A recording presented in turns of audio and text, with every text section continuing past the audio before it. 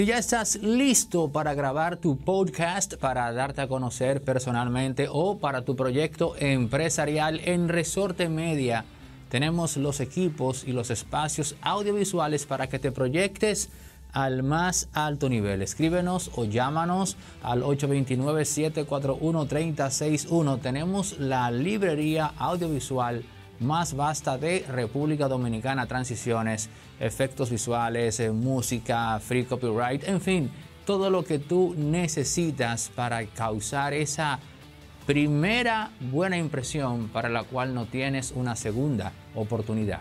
Voy a dividir este comentario en dos.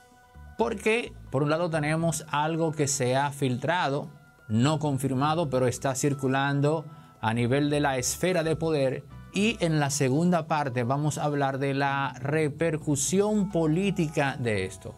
Señores, se ha filtrado, repito, se ha filtrado de manera extraoficial que Lisandro Macarrulla estaría supuestamente dispuesto a buscarle un bajadero a su situación jurídica y las acusaciones que pesan en contra de su familia. Hay que decir así porque es una empresa familiar como tal. Entonces, ¿cuál es el bajadero que Lisandro Macarrulla supuestamente estaría dispuesto a entrar, digamos, en acuerdo con Jenny Berenice y Wilson Camacho? Simple, aceptar una cuota de responsabilidad. ¿Qué pediría Lisandro Macarrulla a cambio? Que esto termine ya que esto termine rápido. En efecto, hay una modalidad en la cual si tú aceptas la acusación, tú puedes negociar que todo eso se resuelva en un día. Y caso cerrado, claro, tratándose de la complejidad del caso Medusa, usted puede esperar, en caso de que este, esta información extraoficial, eh, digamos, tenga veracidad, usted puede esperar que la empresa, que Lisandro, en fin, que no sea un proceso lineal de que yo acepto la culpa y rebájame la condena, no. Acá estamos hablando de cosas como por ejemplo prisión domiciliaria o que, se, que se rebaje drásticamente la pena y en efecto aquí sí pudiesen intervenir otros actores que no intervinieron en la fase inicial que provocó primero la licencia y luego la renuncia de Lisandro, aunque él en la carta dice que ya esa renuncia estaba pautada porque supuestamente su compromiso con el presidente era a dos años. Pero eso también puede ser un subterfugio para tratar de salir lo más elegante posible tratándose de Lisandro Macarrulla. Ahora bien, ¿por qué a Lisandro Macarrulla le interesaría culminar esto ya? Aún a expensas de que inicialmente se acepte un grado de culpabilidad. Y ahí tenemos que pensar directamente en los negocios. Lisandro Macarrulla es un hombre exitoso, pero el mismo Lisandro tiene que admitir que sus grandes negocios él los ha hecho con el Estado, no necesariamente con el sector privado. ¿Y por qué señalo esto? Por algo muy simple, elemental, mi querido Watson, aunque el personaje original nunca dijo eso en la novela de Sir Arthur Conan Doyle. Elemental, señores, esto es cuestión de dinero. Si Lisandro Macarrulla se involucra en un proceso a dos, tres, cuatro años, como es el caso de la, de la constructora Odebrecht, adivinen qué va a pasar que sus empresas no van a poder participar mientras dure ese proceso en negociaciones con el Estado. Lo que yo veo aquí es que Lisandro Macarrulla está pensando a mediano plazo. Está pensando en situaciones que políticamente ameriten que él pueda volver a, participar con sus empresas de cara a hacer negocios con el Estado y que no tenga ningún impedimento legal para eso.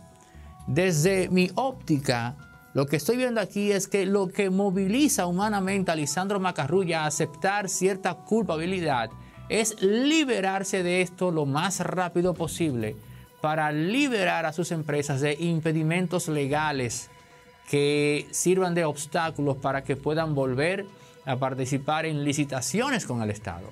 Eso es lo que veo yo, ¿no? La parte económica, Como dicen por ahí, papeleta mató a menudo y morocota se alzó con todo. Si no me falla la memoria, así es que reza ese refrán. Ahora bien, esa es la parte económica. Esa es, esa es la motivación original que llevaría a Lisandro Macarrulla a hacer eso. Algo que en verdad yo mismo no me esperaba. Cuando mi fuente me dijo a mí, mira, está circulando esto.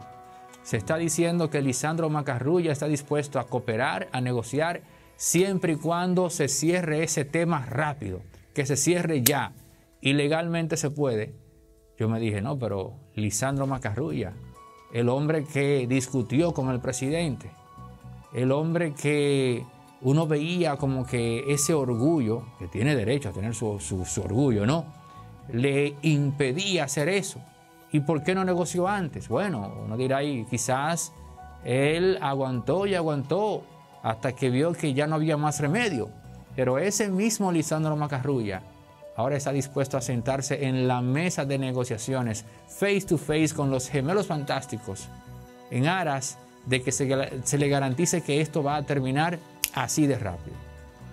Y agregándole a esa información extraoficial, un servidor dice, lo que motiva a Lisandro Macarrulla a eso es el negocio. El hecho de que él pueda liberar sus empresas. Y aquí viene la parte política que vamos a tocar en la segunda parte de este episodio, inmediatamente después de esas recomendaciones. Porque ya hablamos de lo económico en función a este, esta información extraoficial, pero vamos a hablar ahora de lo político. Tuve un sueño. Déjame ver qué da esto. Su pelotedón, su pelotedón. Necesito descifrar un sueño. Dígame, ¿qué significa esto?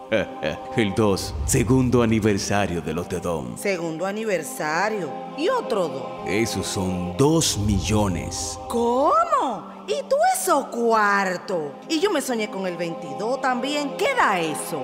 22 de agosto del 2022. Locutor, Explícale tú lo bueno que te te sueño. Con gusto, Super Lotedom. Es que el segundo aniversario de Lotedom trajo el 2 de los cuartos. Y nuevamente el Agarra 4 te hace millonario. Ahora con 2 millones gratis para un solo ganador. Haz tus jugadas del Agarra 4 para generar tus códigos desde el primero al 22 de agosto, día en que celebramos nuestro sorteo de aniversario. Arranca a soñar tempranito para que te hagan millonario rapidito.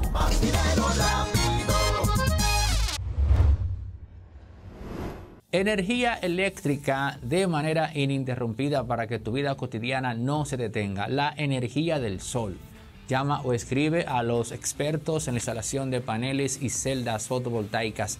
Ser Solar, una sola inversión, una gran solución para que la energía que te mueva a ti sea la más limpia y afable de cara al medio ambiente la energía del sol gracias a Ser Solar. Farmacia Medicar GBC es la farmacia de los dominicanos abierta de lunes a domingo con los medicamentos a un 20% de descuento y los de hipertensión y diabetes a un 30% y un 30% de descuento. Farmacia Medicar GBC, la de nosotros los dominicanos.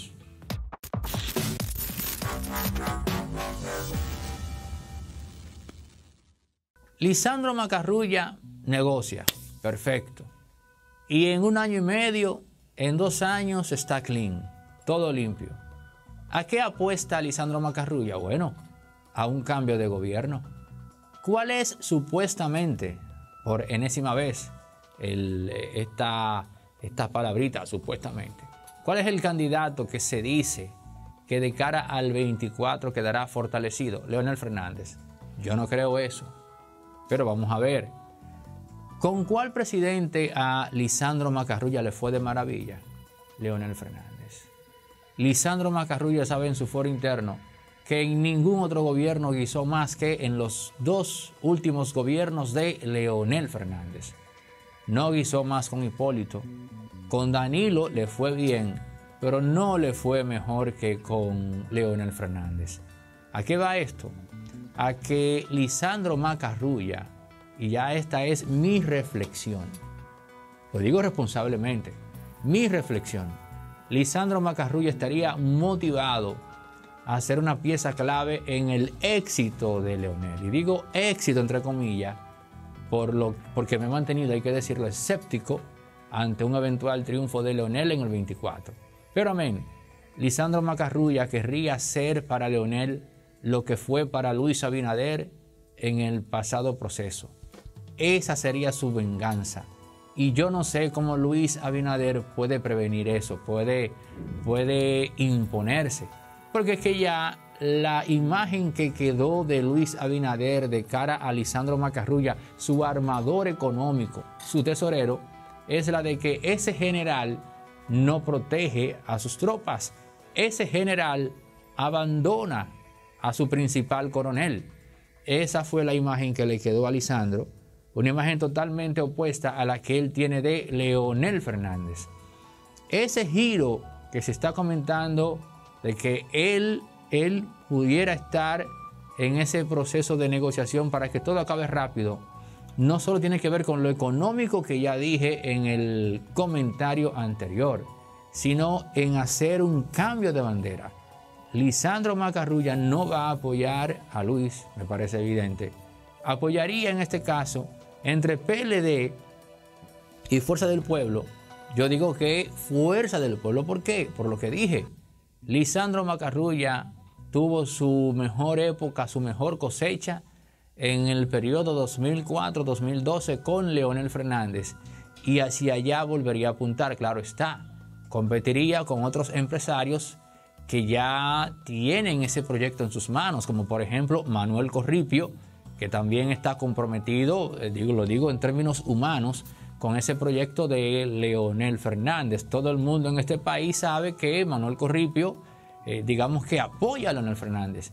Y si él no sabe, que la gente lo sabe, se lo digo para que lo sepa, para que sepa que el país entero lo sabe y que eso es un secreto a voces. Pero bueno, entonces, cuando digo competiría, no me refiero a que van a ponerse los pies el uno con el otro, no. Hay espacio para todo el mundo. Y no que simplemente como está, digamos, un espécimen de ese peso, como Manuel Corripio, ya entonces un Lisandro Macarrulla sabe que a él le toca menos. ¿No debe entender? Entonces, Lisandro Macarrulla estaría apuntando hacia Leonel Fernández. Esa es la lectura política que tenemos que darle al tema de que él esté interesado en negociar. Va a negociar exigiendo o pidiendo que todo esto acabe rápido. Y acabar rápido significa que, en un punto X las empresas de Lisandro Macarrulla podrán volver a participar en las grandes licitaciones del Estado. Una económica y otra política, pero se unen en una sola jugada. Eso es lo que estamos viendo que estaría buscando Lisandro Macarrulla. Y honestamente no vemos cómo Luis pueda sacarle esto de la cabeza a Lisandro. Porque créanme que si Lisandro tuvo la capacidad de ser el armador de ese proyecto de Luis Abinader, en el caso de Leonel Fernández, no lo será menos. Oigan bien, no lo será menos, pero también tenemos que contemplar la posibilidad de que Lisandro apueste a un proyecto interno en el PRM y que está dispuesto a aliarse con un elemento como, como Roberto Fulcar. Todo esto es posible en una lógica que no sea de suma cero en una lógica que yo llamo lógica eh, conclusiva o una lógica más bien abarcante. Vamos a quitar conclusivo. Una lógica abarcante, no una lógica binaria, con tal de que Luis Abinader no permanezca en el poder. Y así, Lisandro, recordarle a él entonces quién es el presidente actual con y sin él.